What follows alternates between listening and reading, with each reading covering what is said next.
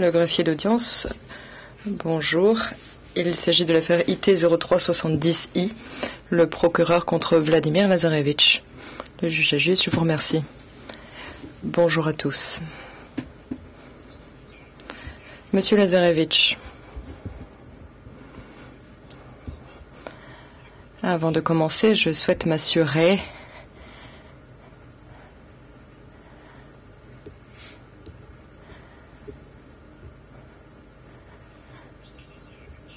Monsieur Lazarevitch, avant de commencer, je souhaite m'assurer que vous entendez l'interprétation de mes propos dans votre langue. Uh, Nous avons besoin d'entendre votre réponse et je constate que les microphones ne sont pas allumés. Je reçois l'interprétation, oui. Le juge juste, très bien, merci. appearances. Je demanderai aux parties de se présenter. Je me tourne vers l'accusation. Monsieur Anis, bonjour. Je m'appelle Tom Anis. Je représente le bureau du procureur. Je suis assistée aujourd'hui par Christina Müller et Suzanne Grogan, commise à l'affaire. Le juge juste, euh, merci. Bonjour à vous tous. Et pour la défense? Bonjour, monsieur le juge. Je suis l'avocat Mikhailo Bakrac de Belgrade et je suis ici pour représenter les intérêts de l'accusé, monsieur Lazarevitch. I. Le, le juste, euh, bonjour à vous également.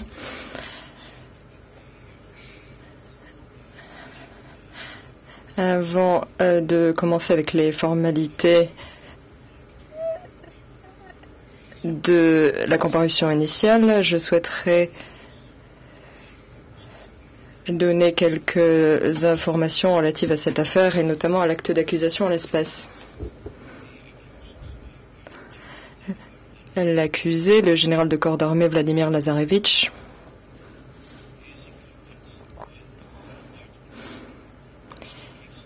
est mis en accusation dans euh, l'affaire IT 0370. Cet acte d'accusation a été confirmé par mon confrère le juge Ogon Kwon le 2 octobre 2003.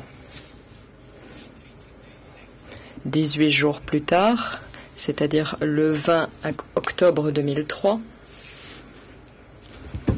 cet acte d'accusation a été rendu public. Cet acte d'accusation concerne quatre accusés. Nebojša Pavkovic, vous-même, Vladimir Lazarevitch, Vlastimir Georgievich et Sreten Lukic.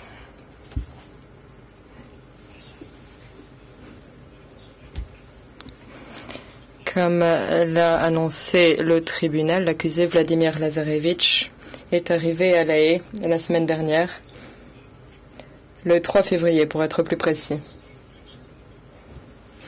C'est le premier des quatre accusés en l'espèce à arriver à La Haye pour y être jugé.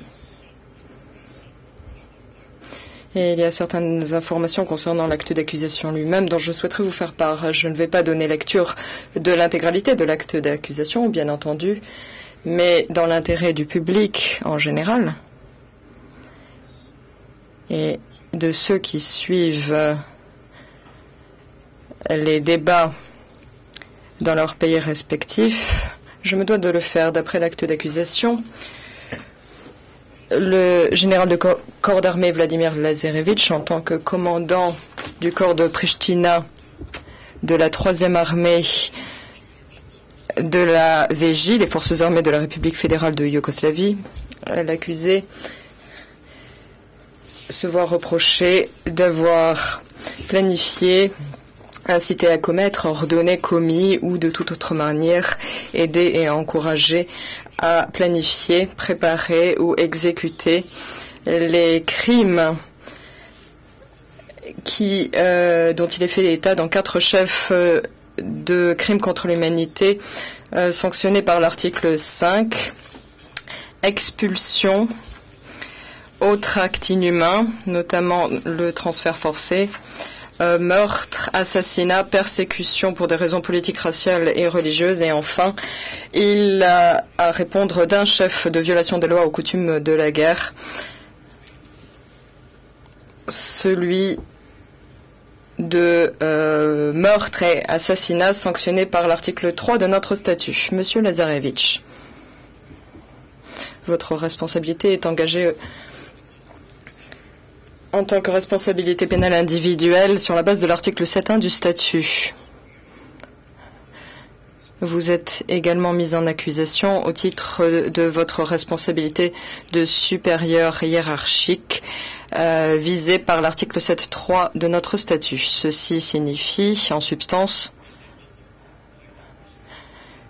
que l'accusation vous reproche d'être responsable des crimes énoncé à l'acte d'accusation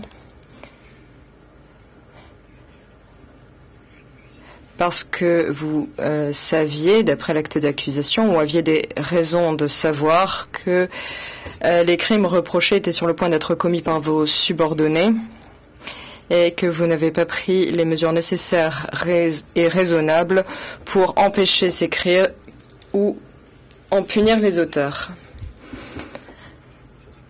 Je vous expliquerai brièvement ce que l'on entend par le terme commettre dans le cadre de la procédure engagée contre vous.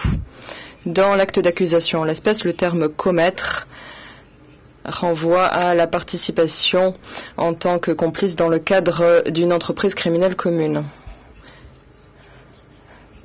Selon l'acte d'accusation, l'objectif de cette entreprise criminelle commune était entre, autres l'expulsion d'un d'une partie importante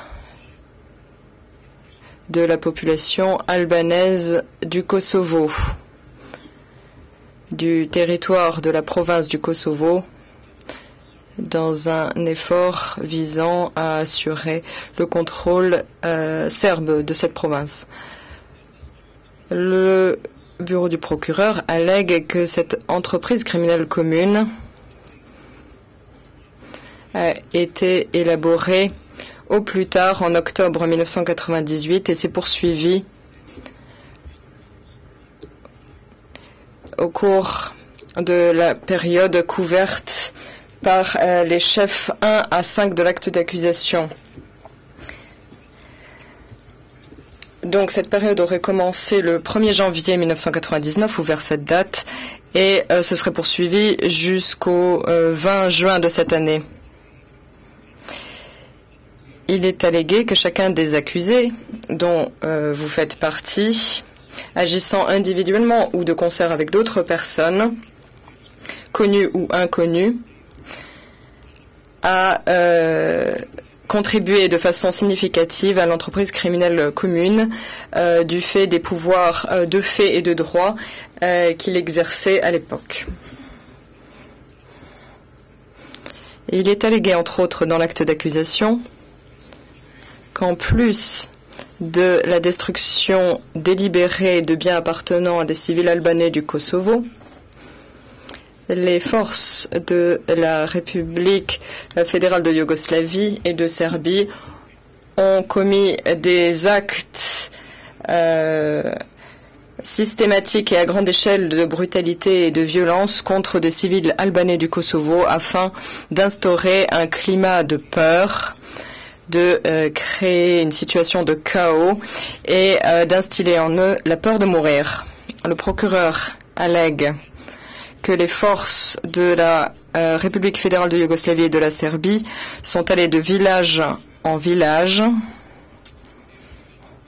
et de quartier en quartier dans les villes et les villages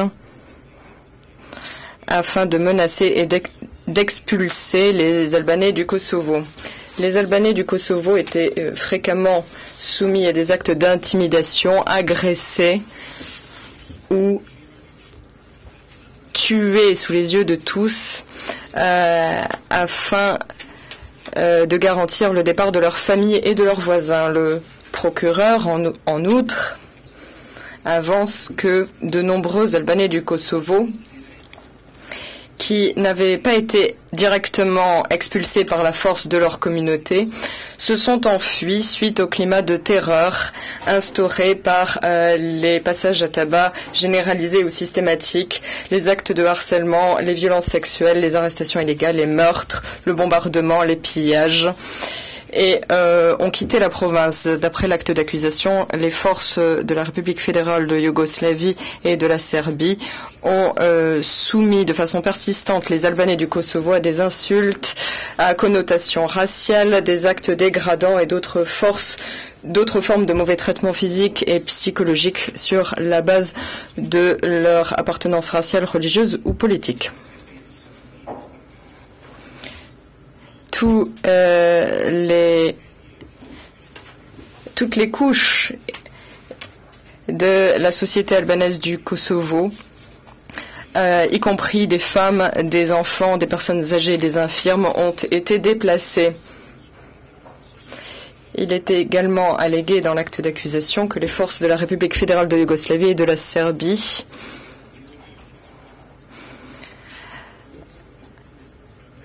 agissant sous le contrôle, avec l'encouragement et l'appui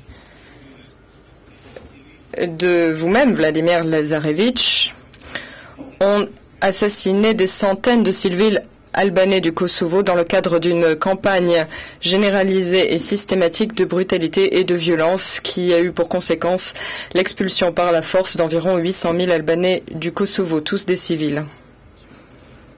De façon générale, le procureur allègue que vous,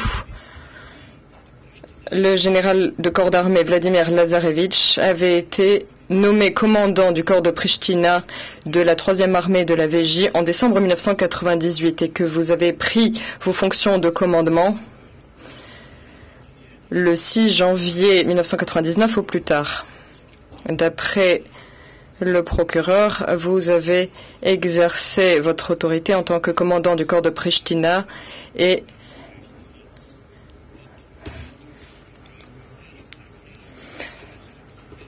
sur la base de la loi de la République fédérale de Yougoslavie sur la défense et par le biais d'un commandement conjoint et de structures de coordination euh, de l'armée de la défense territoriale, d'unité euh, de la protection civile et de la défense et d'autres groupes armés en relation avec les événements qui se sont déroulés au Kosovo entre euh, le mois de janvier 99 et le mois de juin 99 compris. Le procureur allègue en outre que vos subordonnés euh, comprenaient des membres du MUP, des unités de l'armée de la défense territoriale, des unités de la défense civile et d'autres groupes armés. Voici ainsi le contexte des accusations portées contre vous. Le 2 février 2005, le président du tribunal, monsieur le juge Méron, a attribué euh, l'affaire en l'espèce, celle qui vous concerne, à la Chambre de première instance 2, euh, dont je suis euh, le président. Euh, en tant que président de la Chambre de première instance 2, le 4 février, deux jours plus tard donc, j'ai été désigné pour siéger dans le cadre de votre comparution initiale. À présent, nous allons euh, poursuivre conformément aux dispositions relatives à la comparution initiale énoncées dans le règlement de procédure et de preuve. Euh, premièrement, euh, nous allons vous mettre formellement en accusation dans le cadre de cette comparution initiale. Mais avant de poursuivre, je souhaiterais vous poser quelques questions. Il est de mon devoir en tant que président de la Chambre de vous informer que vous avez le droit de euh, garder le silence. Euh, auquel cas, le règlement de procédure et de preuve euh, contient certaines dispositions qui devront être euh, suivis par moi en tant que juge de la mise en état. Il est de mon devoir, en tant que juge de la mise en état responsable de la comparution initiale, de m'assurer que euh, votre droit à l'assistance d'un conseil est pleinement respecté. J'ai vu et entendu Maître Bakrach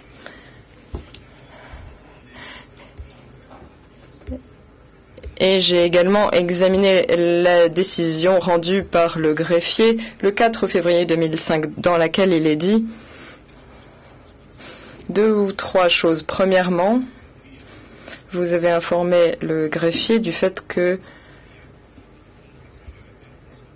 vous souhaiteriez bénéficier de l'assistance juridique prévue par le tribunal. Nous n'allons pas en parler aujourd'hui, mais dans le cadre euh, d'une conférence de mise en état qui sera tenue bientôt. Deuxièmement, vous avez indiqué que vous souhaiteriez euh, bénéficier de l'assistance de Maître Bakrash en, tant que conseil de la défense.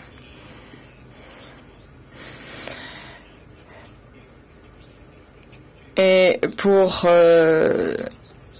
le moment en attendant de régler toutes les formalités relatives à votre demande d'assistance juridique, le greffier a désigné maître Bakrach, un conseil expérimenté euh, puisqu'il a travaillé notamment dans l'affaire Cornoyelat. Il l'a donc euh, désigné pour vous représenter pendant une période de 120 jours à compter de la date de cette ordonnance. La situation sera formalisée euh, plus tard quand euh, votre demande d'aide juridique sera euh, traitée. Mais je souhaite m'assurer, car cela est de mon devoir, que vous êtes satisfait des dispositions prises par le greffier dans le cadre de la comparution initiale d'aujourd'hui. Monsieur le juge, je suis satisfait de l'organisation de la procédure d'aujourd'hui. Question du juge. Merci.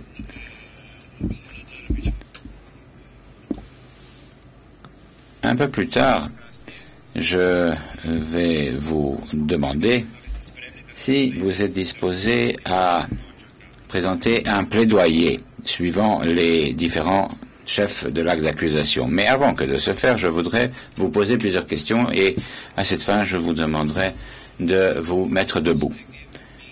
Veuillez, je vous prie, m'indiquer pour les besoins du compte-rendu d'audience votre nom et prénom. Réponse. Je m'appelle Vladimir Lazarevitch. Question. Quel est votre grade? Réponse. Je suis général de corps d'armée. Question. Avez-vous quelque surnom que ce soit Est-ce que d'autres personnes vous connaîtraient par un surnom, mis à part votre propre nom et prénom? Réponse inaudible. Le juge juste. Euh, il a dit non. Pas tant qu'il le sache. Veuillez nous indiquer votre date de naissance. Réponse 23 mars 1949. Question Où êtes-vous né? Réponse Village Gunchar, municipalité de Babushnica, République de Serbie. Question. Je vous poserai une autre question encore. Je voudrais notamment savoir quelle est votre appartenance ethnique. Réponse. Je suis serbe. Question. En d'autres termes, vous êtes un ressortissant de réponse de la Serbie et du Monténégro. Le président, oui, l'accusation. Je m'excuse, monsieur le juge. S'agissant du lieu de naissance de l'accusé, je tiens à informer la Chambre que nous avons fait une erreur de frappe dans l'acte d'accusation pour ce qui est du nom de ce village. Euh, dans l'acte d'accusation, on dit Grenchar. C'est la raison pour laquelle,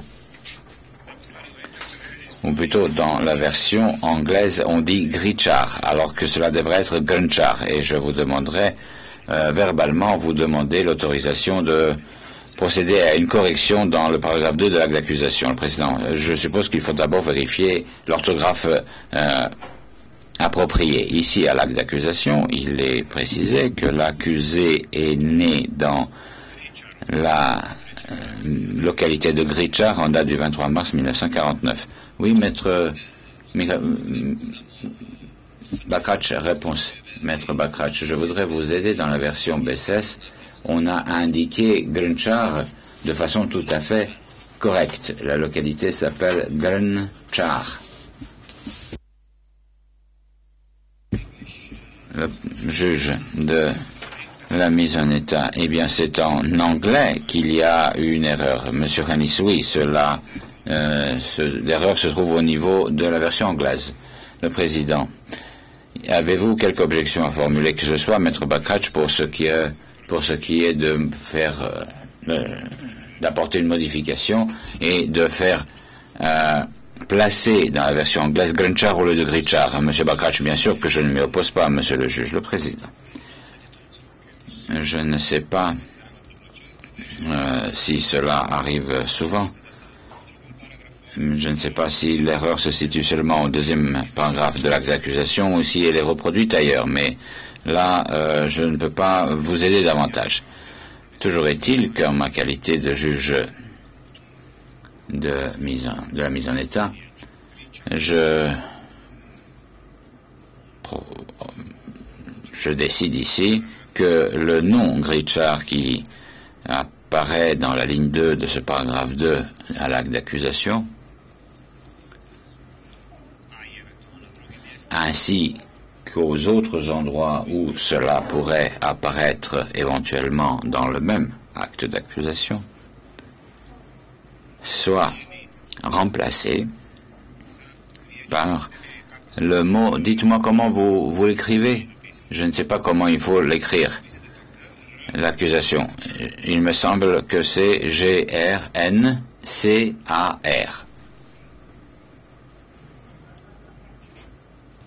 Right, that has uh, solved the problem. Le président. Fort bien, Gunchar. La question est résolue.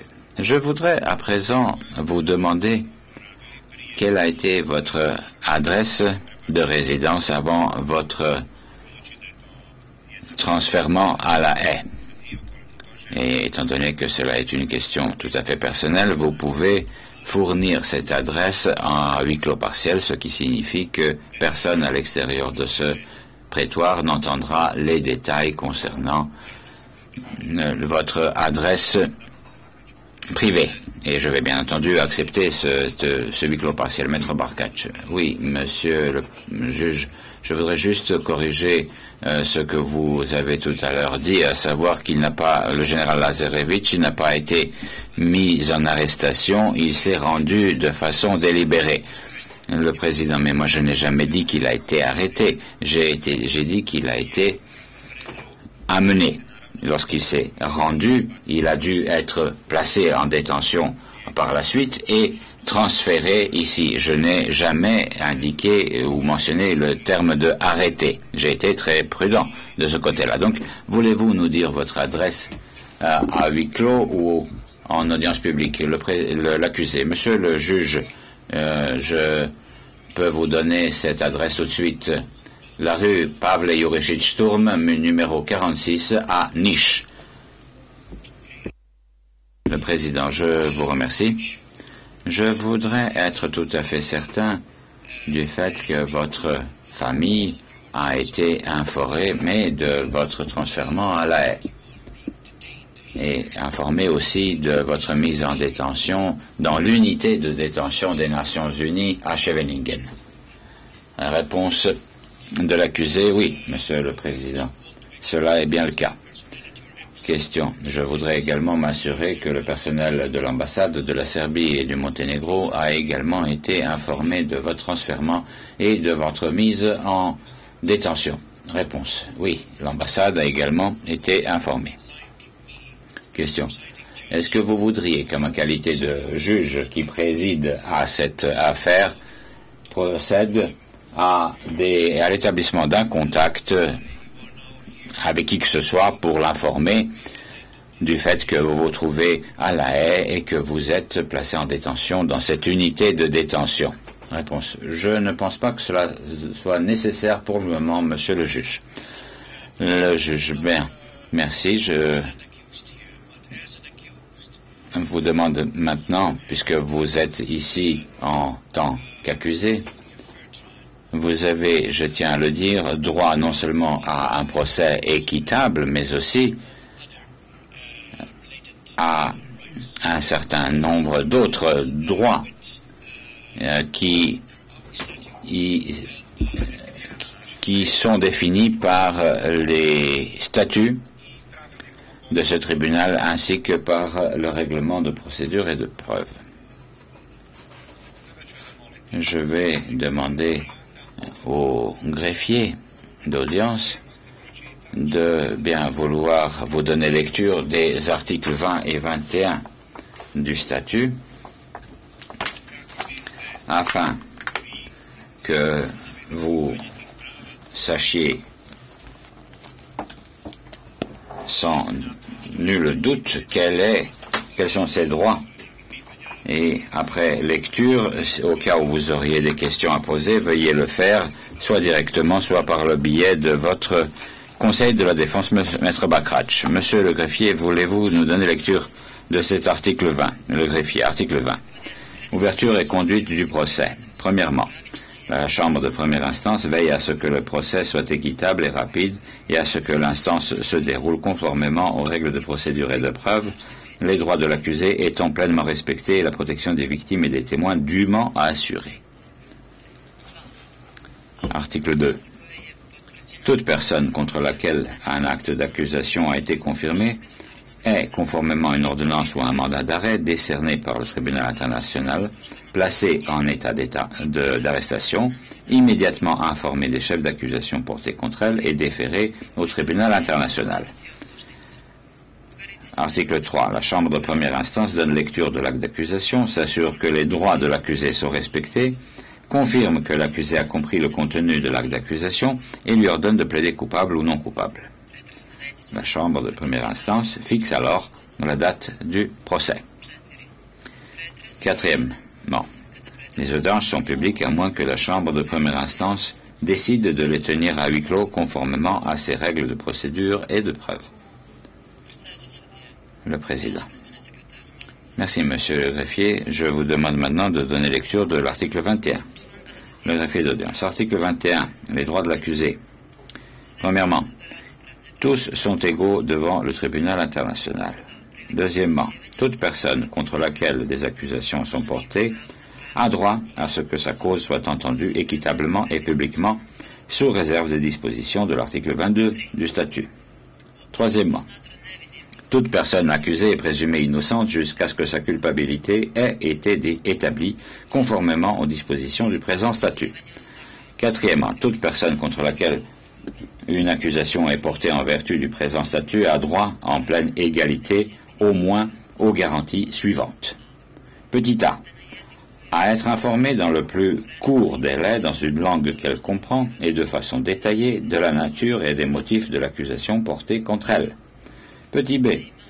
À disposer du temps et des facilités nécessaires à la préparation de sa défense et à communiquer avec le conseil de son choix. Petit c. À être jugé sans retard excessif. Petit d. À être présente au procès et à se défendre elle-même ou à avoir l'assistance d'un défenseur de son choix. Si elle n'a pas de défenseur, à être informé de son droit d'en avoir un, et, à chaque fois que l'intérêt de la justice l'exige, à se voir attribuer d'office un défenseur sans frais si elle n'a pas les moyens de le rémunérer. Petite e. À interroger ou faire interroger les témoins à charge et à obtenir la comparution et l'interrogatoire des témoins à décharge dans les mêmes conditions que les témoins à charge. Petit f. À se faire assister gratuitement d'un interprète si elle ne comprend pas ou ne parle pas la langue employée à l'audience. petit g, à ne pas être forcée de témoigner contre elle-même ou de s'avouer coupable. Le juge de la maison est. Merci, monsieur le.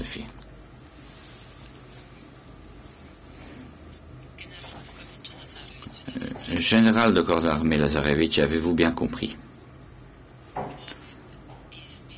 L'étendue et la signification de ces droits Réponse. Dit Je me dois, dit le président, de passer à une question fondamentale. Avez-vous reçu l'acte d'accusation dans votre langue à vous? Monsieur Anis, je vous demande pardon, monsieur le juge, mais sa réponse à la dernière des questions que vous avez euh, posées n'apparaît pas au compte-rendu d'audience. cela ne figure pas au compte-rendu d'audience. Le président, oui, mais je l'ai entendu dire oui. Je répète, monsieur Lazarevitch, il faut que vous parliez dans le micro parce que les interprètes ne peuvent pas vous entendre et par conséquent ne peuvent pas traduire ce que vous avez dit. Donc, je vous ai demandé, après la lecture des articles 20 et 21 du statut, si vous aviez bien compris l'étendue des droits de l'accusé et leur signification. L'accusé. Oui, monsieur le juge, j'ai compris l'article 20 et l'article 21 comportant sur l'étendue de mes droits. Le président. Fort bien, merci. Je voudrais maintenant que vous nous confirmiez le fait que cet acte d'accusation auquel je me suis référé tout à l'heure vous a été remis dans une langue que vous comprenez. Réponse. Oui, j'ai reçu l'acte d'accusation dans ma propre langue. Question. Du juge juste. Donc, je crois pouvoir comprendre que vous êtes tout à fait conscient de la teneur de cet acte d'accusation et des chefs d'accusation qui vous sont mis à charge. L'accusé, oui, je suis tout à fait au courant de la teneur de cet acte d'accusation. Le juge juste. Maintenant, nous pouvons procéder de deux façons. La première de ces façons de faire, c'est de vous donner lecture de l'acte d'accusation tout entier par les bons soins de Monsieur le greffier d'audience ou par moi-même, ou, dans le cas contraire, vous pouvez renoncer au droit qui est celui de vous faire donner lecture en public de cet acte d'accusation, auquel cas je ne citerai de cet acte d'accusation que les informations que je juge utiles d'avancer dès à présent. Est-ce que vous voulez qu'on vous donne lecture de l'acte d'accusation tout de suite ou renoncez-vous à ce droit? Est-ce que vous avez consulté Maître Bakrach Maître Bakrach, oui, Monsieur le Président. Je prends sur moi le soin de répondre, étant donné que c'est là une question euh, plus technique que je me suis entretenu avec le général Lazarevitch. Il n'est point nécessaire de donner lecture de l'acte d'accusation et nous nous satisferons de faire parcourir rapidement les différents chefs d'accusation afin que l'accusé puisse euh, faire son plaidoyer. Le président, fort bien. The procedure I will follow. Uh, La procédure que je me propose de suivre est la suivante. Tout d'abord, il faudra que vous me confirmiez que vous êtes bien d'accord qu'il n'est point nécessaire de donner lecture de ce texte de l'acte d'accusation. L'accusé. Monsieur le Président, je suis tout à fait d'accord avec ce que vient de dire mon conseil de la défense, Maître Bakrach. Le Président. Merci. J'aimerais que tous les clients qui sont les miens soient à, votre image, comme vous, comme vous. Du moins, lorsque j'aurai entamé une carrière de, d'avocat. Euh, à titre privé je dois vous donner quelques conseils. En application de notre règlement de procédure et de preuve, article 62A, trois petits i, vous avez le droit de, présenter un plaidoyer de culpabilité ou de non-culpabilité au niveau de chaque chef d'accusation dès la comparution initiale. Ou, encore, si vous le désirez, vous pouvez le faire dans un délai de 30 jours à compter de la journée d'aujourd'hui. Le règlement de procédure et de preuve ne vous impose pas un plaidoyer de culpabilité ou donc de non-culpabilité dès aujourd'hui. Je ne sais pas si vous avez déjà eu l'opportunité de vous entretenir euh, de ce sujet-là avec votre conseil de la défense. Toutefois, j'aimerais que vous me fournissiez une indication au sujet du fait d'être disposé à, présenter un plaidoyer dès aujourd'hui ou si vous préféreriez remettre cela à plus tard, à savoir euh, à le faire dans un délai de 30 jours à compter de cette comparution initiale d'aujourd'hui. Je dois également vous dire que si vous décidez de ne pas présenter de plaidoyer ni maintenant ni ultérieurement, il faudra de façon évidente que cela soit fait ou euh, exercé par la Chambre de première instance et cela se passe de façon à ce que cette Chambre de première instance se prononce en votre nom comme non coupable. Donc, allez-vous vous prononcer dès aujourd'hui ou voulez-vous un report? L'accusé, monsieur le juge, je suis tout à fait d'accord et disposé à ce que dès aujourd'hui, il soit fait de ma part un plaidoyer. Le président, je vous remercie, général Lazarevitch.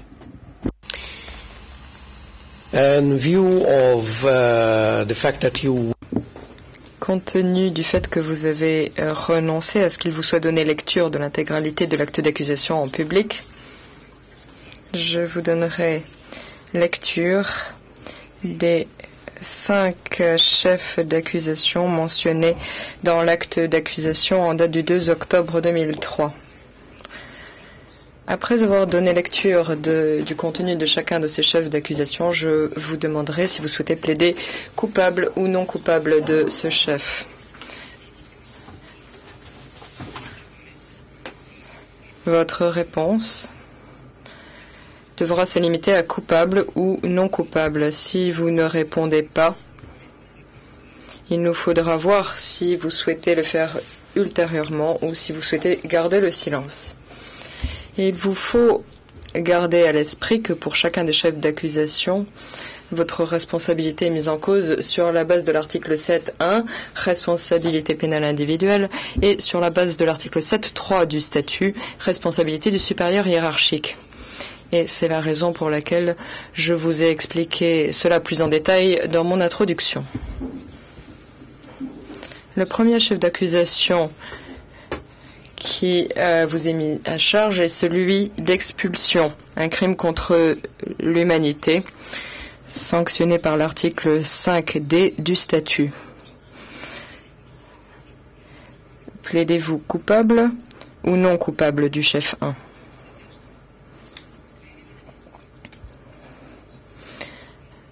L'accusé.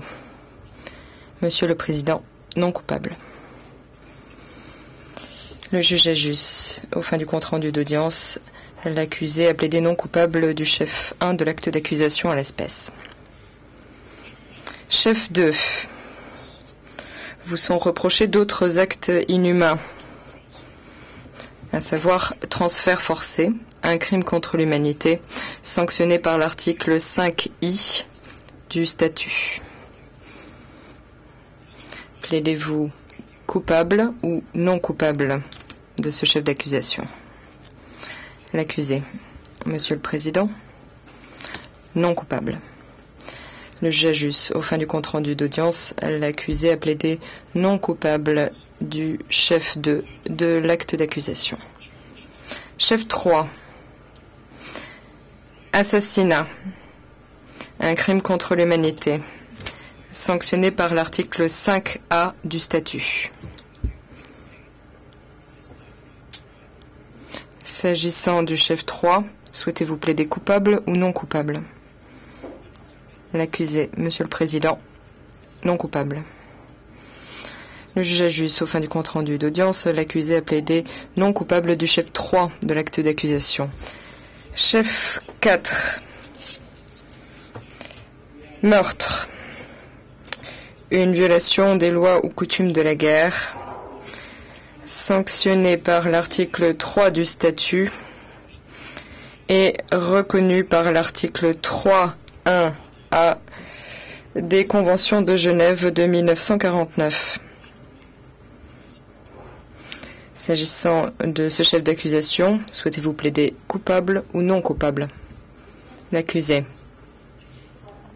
Non coupable, Monsieur le Président. Le je vous remercie. Au fin du compte rendu d'audience, l'accusé a plaidé non coupable du chef 4 de l'acte d'accusation.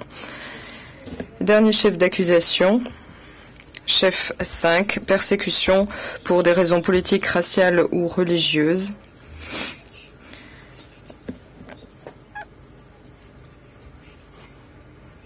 Euh, crime contre l'humanité, sanctionné par l'article 5H du statut. Souhaitez-vous plaider coupable ou non coupable? L'accusé. Monsieur le Président. S'agissant du chef 5 également, je plaide non coupable. Le juge juste, je vous remercie. Veuillez vous asseoir.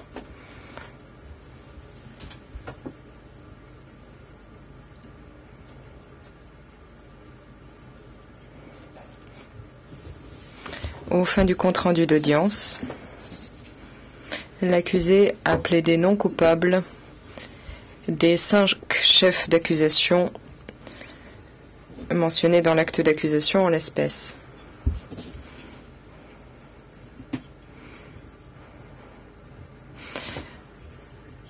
La chambre de prière, la chambre de première instance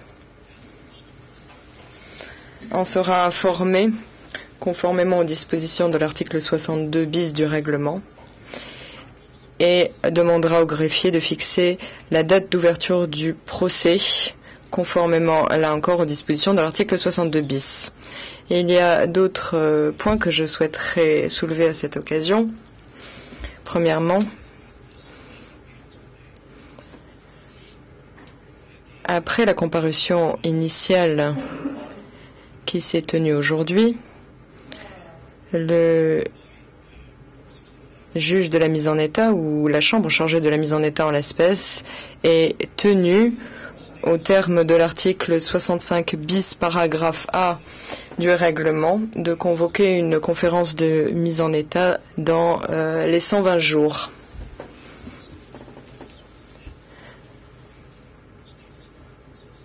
Il y aura ensuite d'autres conférences de mise en état. Chacune de ces conférences sera convoquée et tenue 120 jours après la conférence de mise en état précédente. La première conférence de mise en état en l'espèce se déroulera donc dans 120 jours. À ce stade, je ne peux pas vous dire si je serai moi-même juge de la mise en état en l'espèce ou si un autre juge de la Chambre sera désigné pour remplir ce rôle. Il me faudra euh, évoquer cette question avec les deux autres juges permanents de la Chambre de première instance 2. Pour le moment, il me faut seulement vous informer du but de ces conférences de mise en état. Vous serez informé en temps voulu de la date à laquelle se tiendra cette première conférence de mise en état. Votre avocat en sera, informé lui aussi. Les conférences de mise en état ont pour objectif de faciliter l'organisation et la préparation du procès. D'autre part, les conférences de mise en état offrent la possibilité au juge de la mise en état et à l'accusé, vous donc en l'occurrence, euh, de se rencontrer afin de s'assurer que vous êtes bien traité, que tous vos droits sont respectés. Et si vous avez des griefs quelconques à soulever, sur quelques points que ce soit, ou quelques personnes que ce soit. Il vous est ainsi donné la possibilité d'évoquer ces questions en audience publique ou à huis clos partiel. Je donnerai donc pour instruction au greffier de faire courir le calendrier de façon à ce que nous puissions fixer, fixer la date d'ouverture de votre procès sans retard excessif. Pour le moment, vous euh, demeurez en détention, mais il est de mon devoir bien que votre avocat vous en ait sans doute euh, déjà parlé, il est de mon devoir donc de vous, informer que notre règlement et notamment son article 65 envisage la possibilité d'une euh, mise en liberté conditionnelle ou provisoire en attendant l'ouverture de votre procès. Euh, je ne saurais vous donner de conseils à ce sujet, mais je suis sûre que Maître Bakrach s'en chargera et que vous évoquerez ce point avec lui. Je me tourne vers l'accusation à présent. Euh, dans un souci de formalité, euh, il est de mon devoir de rappeler à l'accusation qu'il est de son devoir, conformément à l'article 66 du règlement de procédure et de preuve, de communiquer à la défense dans les 30 jours à compter d'aujourd'hui euh, euh, toutes les pièces euh, à l'appui de l'acte d'accusation en l'espèce de communiquer ces pièces à la défense dans une langue que l'accusé comprend. Je me tourne à présent vers Maître Bakrach.